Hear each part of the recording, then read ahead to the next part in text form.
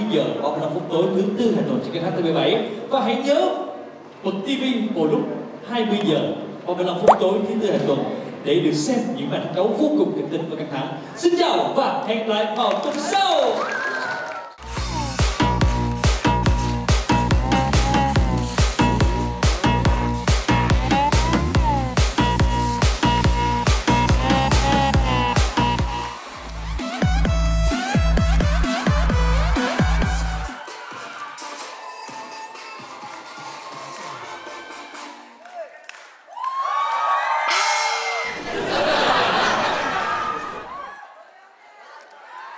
Đón xem tập 10 dòng ca bất bại, phát sóng vào lúc 20 giờ 35 phút thứ tư ngày 29 tháng 8 năm 2018 trên kênh HTV7.